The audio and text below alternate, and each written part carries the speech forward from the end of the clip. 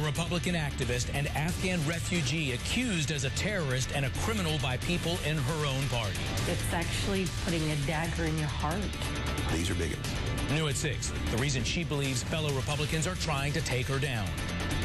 Good evening. I'm Justin Farmer. And I'm Monica Pearson. The activist is suing over accusations she is a terrorist. Channel 2's Lori Geary is here with the tapes the activist says proves people in her own party are out to ruin her.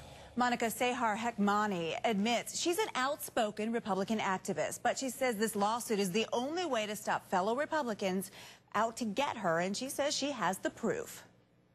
Yes, I fight for what's right and I won't let them stop me. Even Sehar Hekmati is a Republican Party activist who claims a political battle in Henry County has turned personal, racial, and defamatory when members of her own party turned against her. She's a terrorist. She is a terrorist. She is a terrorist. She follows all the rules. I grew up in the South. I know what bigots are.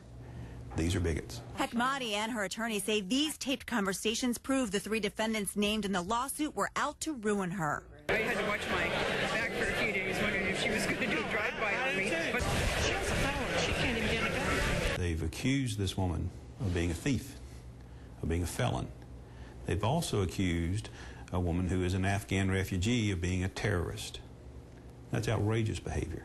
Hekmati says as a child, her family fled Afghanistan. She's lived in Henry County for more than a decade and has been involved in Republican politics for just as long. This is the only way I can give back a country that has given me the freedom, knowing what women in Afghanistan are going through. Hekmati says her district recently nominated her to be a delegate at the Republican National Convention. We tried to get the three women named in the lawsuit to go on camera, but no one came to the door at their homes. Today, they released a statement saying in part, quote, there is turmoil with Henry County Republicans due to a recent convention that is being appealed to the national level. The civil case is a frivolous lawsuit and we deny all allegations. My children will learn that mom didn't give up. Mom stood for what's right. And uh, hopefully justice will prevail. The three defendants named in the lawsuit also say they hope to have this resolved quickly and justly for the advancement of Republican principles. Monica?